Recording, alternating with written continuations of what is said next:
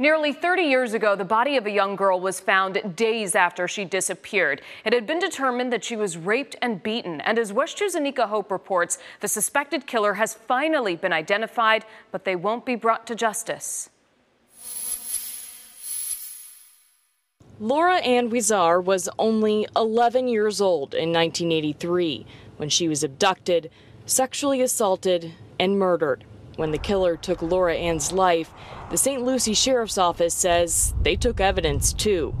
I had already looked at all of the crime scene photos. I'd been through most of the case file, and what they're telling me does not match what I'm seeing.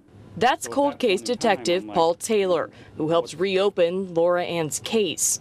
Taylor said he was able to reach out to the original witnesses who found the sixth grader. And I asked them, I said, you know, I said, it's been almost 40 years. Do you remember this case? And there was tears. They started crying and said, I see that little girl lying there every time I close my eyes.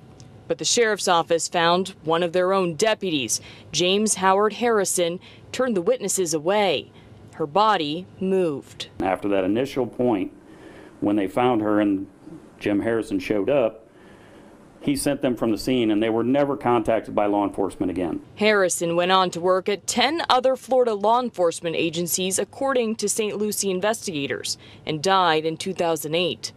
Detectives got a warrant to exhume Harrison's body from the Ocoee Cemetery for a DNA sample. It was too deteriorated. Investigators said the evidence still added up to Harrison being the most probable suspect. I'm actually standing there in front of this victim's family and I'm telling them that one of our deputies is the one that did it.